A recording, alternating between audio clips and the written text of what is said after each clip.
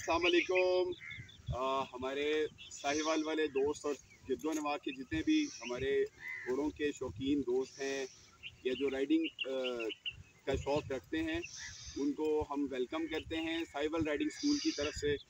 और आज संडे है और आज हम लोगों ने अपनी घोड़ियाँ बाहर निकाली हैं और हमारे साथ जितने भी हमारे दोस्त हैं, ये सभी हॉर्स लवर हैं। और ये सेंटर में हमारे सर खड़े हैं, सर सरदार, इनके साथ लाना इसार साहब हैं। इधर मकसूद भाई हैं और ये आपको छोटे से बच्चे नज़र आ रहे हैं, साढ़े तीन साल की एज के हैं ये।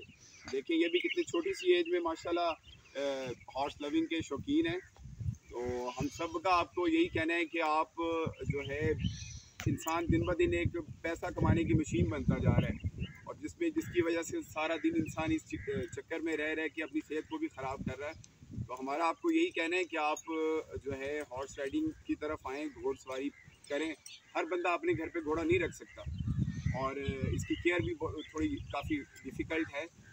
तो लिहाजा आपको एक अच्छी अपॉर्चुनिटी है साहिवाल में रहते हुए कि आप आएँ यहाँ पे, हमारे पास घोड़े हैं, अच्छे राइड राइडिंग आपको यहाँ पे करवाई जाएगी। ट्रेनर हैं यहाँ पे अच्छे। तो आप को जो है वेलकम करते हैं। आप आइए इन ताला आपको अच्छा लगेगा यहाँ पे आके। फिर दोबारा मुलाकात होगी। अल्लाह हाफ़